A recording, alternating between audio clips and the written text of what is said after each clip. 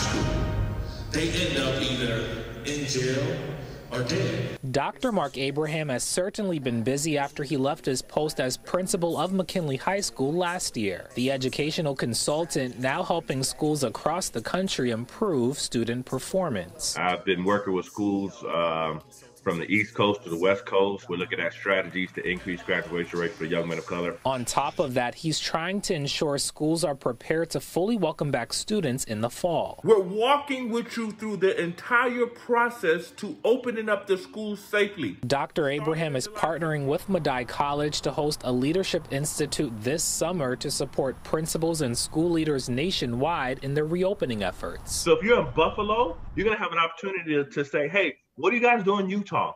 What do you guys do over there in Little Rock, Arkansas? What's going on in New York City? They're going to walk out of this conference with a fully completed, comprehensive plan. The world is not the same anymore. Running the high school, at some point, we'll get back to this lane, which is just running the high school. But now you've got so much more.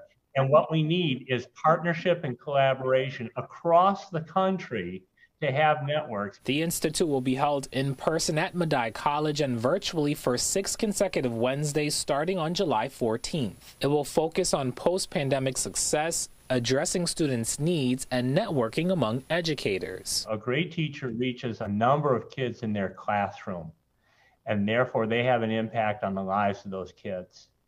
Now, the role of leadership is, in fact, to support all of those teachers. At the end of the day, this is to help kids. The better the administrators are, the better the teachers will be, and the better the kids will perform. Brandon Lewis, Spectrum News.